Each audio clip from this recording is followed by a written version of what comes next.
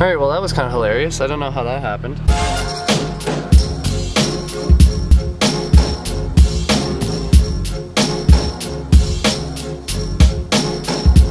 Hey, what's up guys?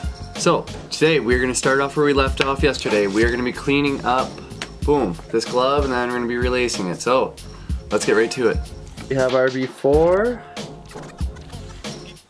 Looking a little dry, looking a little dusty. And our after. Oh baby, look at that glove right there. All done up, there we go.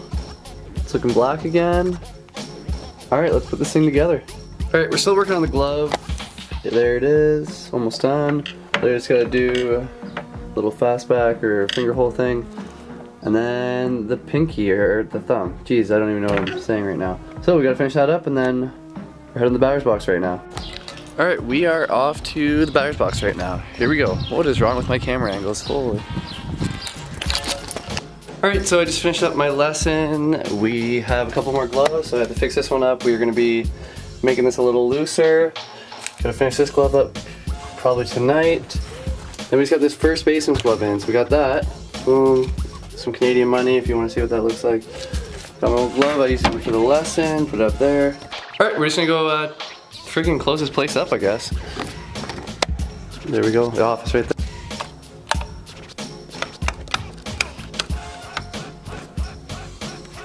Alright, this is probably a bad idea because I can't freaking see right now. Um, we're gonna turn all these lights off. Oh, we have light? Oh, we got light. Here we go.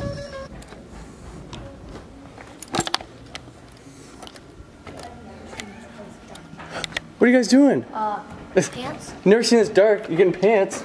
Yeah. Are you sure? No. Whoa. You guys got lucky. Uh, we just finished practice over at Northern Bear, Oh, nice. so we Um, figured we might just swing by and see if you guys got our stuff. I don't think so. Hey, Yep, no problem. Alright, well that was kind of hilarious. I don't know how that happened. Um, just about to close up and then people walk in. I thought it was like a ghost. I was like genuinely confused that someone was in there because there's not supposed to be anyone in the batter's box right now because we're kind of closed down. Also, I have an idea for when we get home, so I'll show you that in a sec. Or talk to you about that in a sec? I don't know, whatever. We'll figure it out. So right now the batter's box, basically we're winding down on our lesson, so that's, I have one more lesson on Thursday and then I should be done inside and the rest goes outside. So we are pretty much closed down for the summer. One thing that we want to do though is get something in there for the summer. So one of my ideas was um, do like a little cornhole tournament slash just maybe do a cornhole night at the batter's box. So for anyone that doesn't know what cornhole is, basically it's like the beanbag toss. So you have like the big square like that, then you have the hole in the middle and you're trying to toss beanbags into it. It's kind of like a fun, it's a fun game, fun drinking game for older people. Um, so that might be another option because we do have a bar at the batter's box. So if we get that license for the summer, we can do events, we can do kind of big cornhole tournaments or just like a weekly bar night. So where people come in, have some craft brews from the area because we have a bunch of breweries over here, and then just play some cornhole. So let me know in the comments what you guys think for the people that are older or younger, whatever. You can play cornhole all ages. So let me know what you guys think in the comments, and then Alright, so I might as well kind of do a little breakdown of what the gloves we got going on here. We have our vintage little Rawlings going on. Just have to finish up this. Pretty much done, just gotta do the thumb. Next one, we've got this in today while I was doing my lesson at the batter's box. So I wish I could do these interactions, but I'm doing my lessons at the same time these gloves are coming in, so it's kind of tough. Because you know what, I gotta do the lessons. Um, so we have that little broken web right there. So this has actually been used for fast pitch.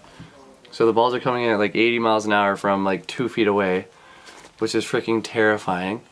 So we got that. It's gonna look really nice when we do it up because all black gloves end up looking nice. So we got that.